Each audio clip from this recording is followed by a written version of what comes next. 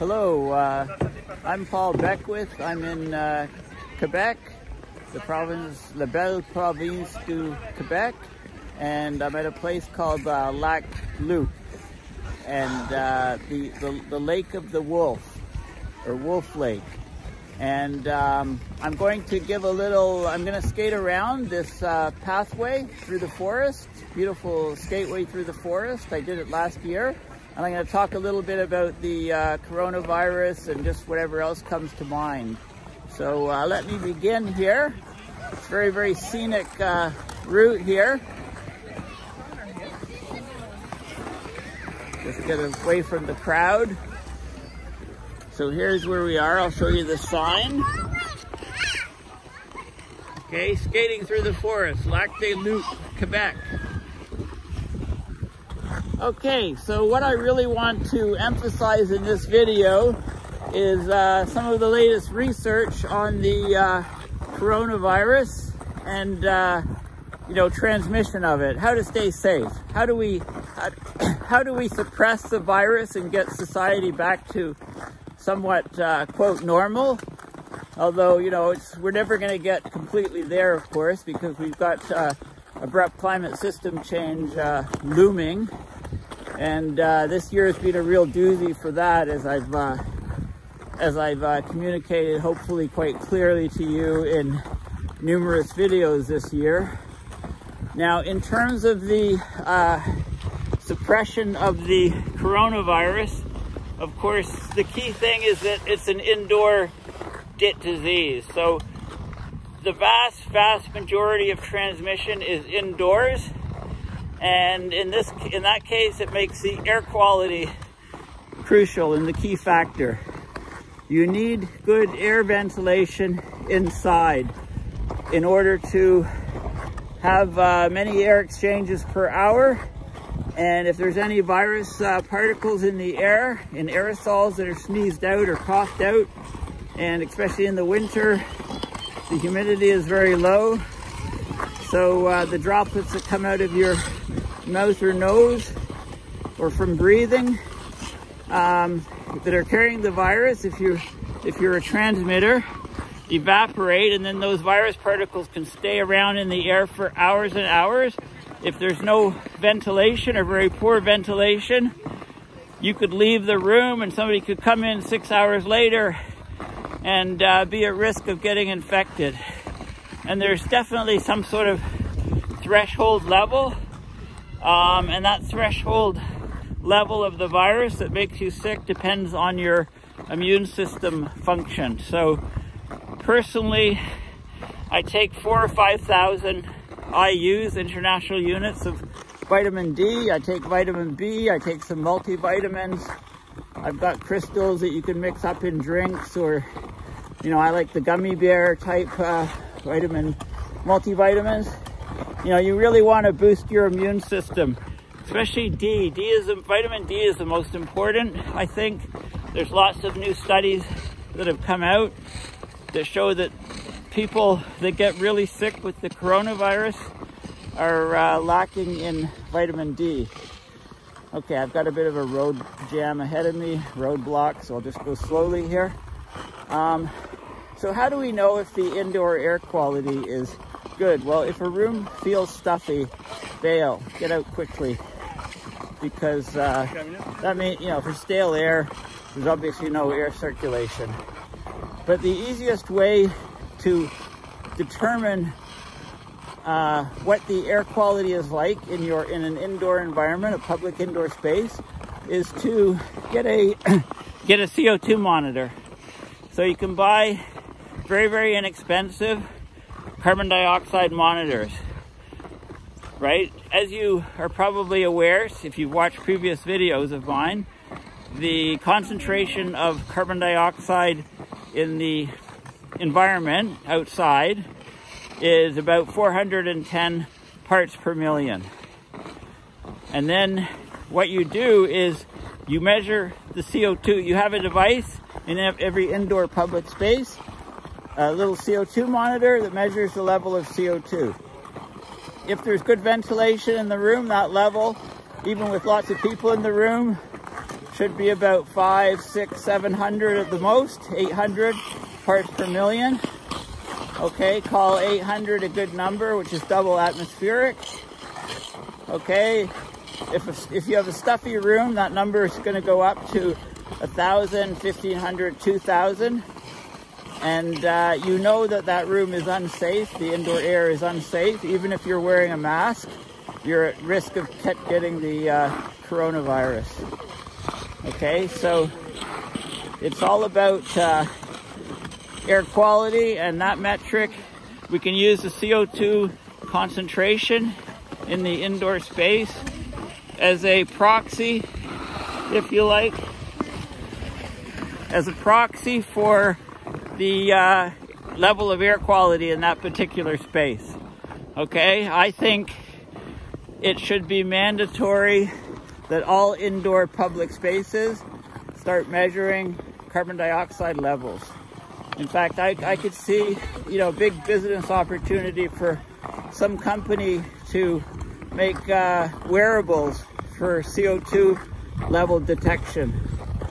Okay, uh, so imagine that it's a feature on your in your uh, iPhone or on your smartwatch or just a separate standalone sort of wrist uh, wrist detector, you know, that measures CO2. It's very, very inexpensive now to mass produce little laser, little laser diodes and little laser detectors. And all you need for a CO2 detector is you have a, an infrared laser and that laser wavelength is fixed at a, a strong absorption line of CO2 gas. Okay, so we know the strength of the absorption line from the uh, spectroscopy of the gas. So based on the amount of light from the laser that is that is absorbed by the CO2, you'll have a little waveguide. So you'll have a long path length through the air of this laser, and uh, the concentration uh, will easily be determined to sub parts per million levels. Uh, accuracy using this little laser diode uh, uh, detector, photo detector, and that will give us the concentration in a digital readout. And that digital, that's the way to, I think, eradicate the virus. Apart from, you know, vaccines and things like that, it will mean, it will basically be a, a red alert telling you an indoor environment is safe or not safe. So you get the heck out of there if it's unsafe.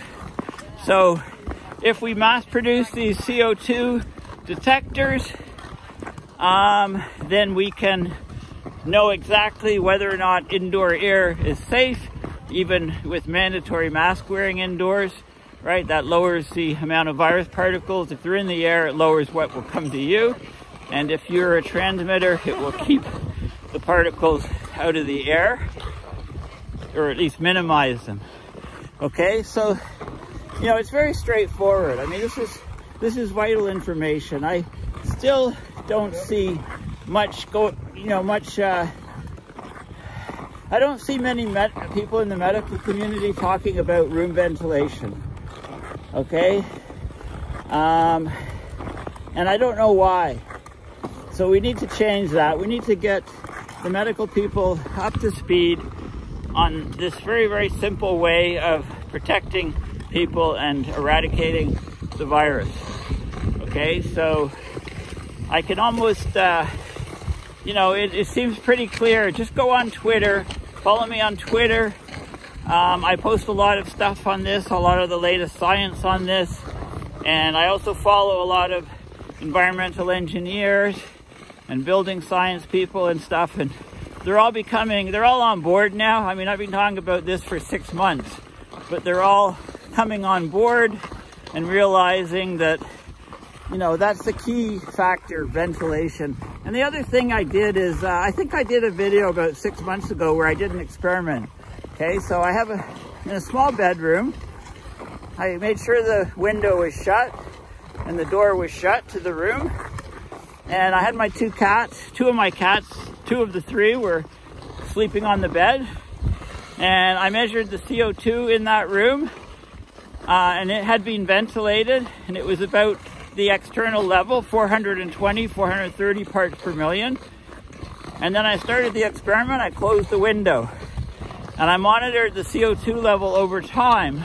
And just with two cats in that room, the levels went up to about eight, 900, 1,000 parts per million over the space of several hours. Okay, so that's the environment, a closed indoor space without ventilation that is a very, very high risk. If there's virus particles in the air, you're at very high, extremely high risk in that type of environment. And then what I did is I cracked a window. Okay, I just cracked the window. When I say cracked it, I didn't break it. I just opened the window the smallest possible amount that I could. You know, and with your finger down next to the gap, you can feel a little bit of airflow. But it's the smallest, smallest possible amount open. And I monitored the CO2 over many hours and the CO2 level in that room stayed exactly pegged to what it was outdoors. So there was sufficient ventilation from just cracking the window a very small amount to keep the that indoor environment as close as possible to the outdoor environment. And this experiment, if you do this in the winter, you know, you're only cracking it the window such a small amount that you're not jeopardizing the heat. Okay, you'll get a bit of a, there'll be a bit of a draft in that room, but you're not uh, losing all your heat. Okay, and basically that's what we need to do to all indoor environments. You know, long-term care homes, they're notoriously bad because they're sealed up like a fortress. They're sealed up so tight and the temperatures are very high. So the dryness level is extremely high in the winter and with no air circulation, you know, people, older people, they like it warm. They like it very comfortably, you know, too warm, in fact, for most of younger, us younger folk. And this is why the virus spreads like wildfires in those environments. So we need to crack windows open. And I actually go as far as recommending getting a glass drill bit and just drilling tiny holes in windows if they can't be opened in uh, facilities like old folks homes. And you can always throw some little, you know, a little bit of tape over there or something, you know, when the, uh, when the virus is over. But in general, we need to, what this virus is showing us is that we really need to worry more about indoor pollution and about ventilation because as you may be aware, the normal flu is almost non-existent in many countries this year because people are wearing the masks and social distancing and uh, it does not spread to the same level that the coronavirus does. Okay, so the, precautions that we've been taking have pretty much eliminated. And when I say eliminated, I'm talking about, you know, the cases of normal flu in Canada and many northern countries. It's uh, less than 5% of what a normal flu season would be. And there's a lot of fluctuation um, from one flu season to the next.